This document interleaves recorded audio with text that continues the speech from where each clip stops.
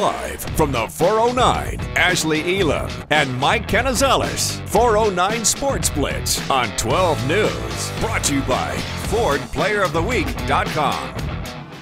Hi, and welcome to another exciting Friday night. It is the 409 Sports Blitz. we are here in PAT, Port Arthur, Texas. That's land of the trail, bro. That's land right. of the trail. Memorial Stadium, Bunby. We looked for him, he wasn't here tonight, he though. wasn't, he wasn't. But you know who wasn't here tonight also? Who's that? The Port Arthur Memorial offense. Ooh, hey, you went there. I didn't take it there, guys. I'm not being He mean, but there. man, maybe that was more to do with the Beaumont United defense. Yes. It's Port Arthur Memorial. It's Beaumont United. It's the game of the week. The Game of the Week. Brought to you by Acadian Ambulance. And we are in Port Arthur, the Titans' first home game of the year. They have been on the road and, and taking care of business at least one of the weeks in the Houston area. Pick this up. Yeah, check that out. Zemiah Vaughn. His pass is tipped, but James Wilson making a grab, feed the man. That's a running back. They're on the move. That drive would stall. Later on, the drive would not stall, though. Wilson takes it in, punches it in for the score. It's 7 nothing. Beaumont United as the soul of the South plays on. Under two minutes left in the first.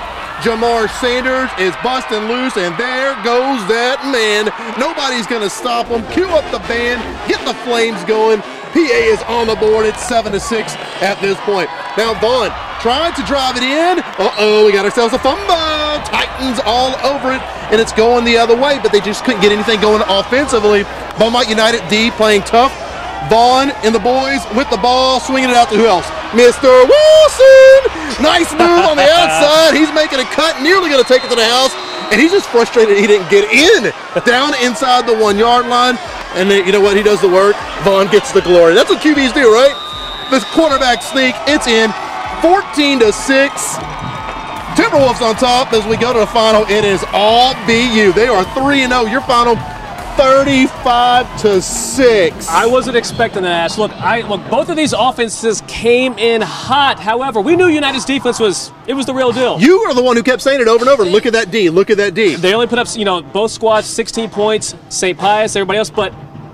I'm shocked. I got to be honest right now. Titan Thibodeau, I did not expect that. I expected that offense to at least put up 21 points, not And- six. Right, and you know you got to look at it. The second half is where things really got blown open. It was 14 to six at halftime, and they were kind of, you know, kind of just slugging it out, moving back to the middle of the field. Second half, a pick six really lit things up for BU, and they went on from there. But hey, this was only one of the big games here in the South Mid County area. They were all over tonight. Yes, it was. Hey, Ash, I'll tell you what. If I would have told you at the beginning of the season that Silsbee and Nederland